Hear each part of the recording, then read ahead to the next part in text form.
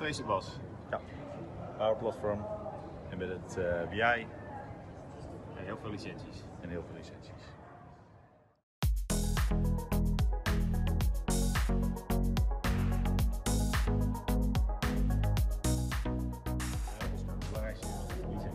Ja, dat was een aardig uh, nieuw, uh, nieuw verhaal. Veel, veel ontwikkelingen, uh, met name de, de PAN-licenties die we kennen binnen Dynamics 365 Custom Engagement en Financial Operations.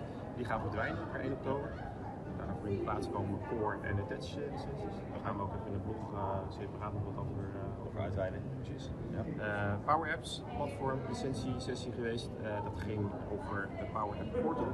Maar ook daar wat, even wat duidelijkheid over dat model ook daar gaan we verder op een later moment wat, wat over vertellen. Nog vertellen over de, ja. de Financial Operations?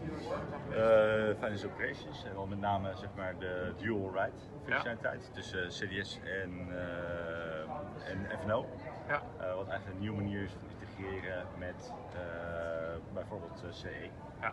Uh, maar in het verlengde daarvan ook uh, Power Apps uh, in brede zin. Dus het aantal sessies gevolgd over extensibility van het Power Platform, pro-developer capabiliteiten daarop. En ik ben bij een aantal sessies met betrekking tot BI geweest. Power BI Embedded, ja. nieuwe functionaliteiten. Ehm, veel. Veel. Ja, ja goed. Uh, en, en uh, learning, teams, uh, heel, heel veel punten. Ja, mooie, mooie dag. dag. Ja, ja, absoluut. Dus leuke dingen gedaan. Morgenochtend Cornote. Morgen de Cornote, Satya. En Brett Smit. Ik kijk ernaar uit. Ik, ik ook. Dus vroeg opstaan.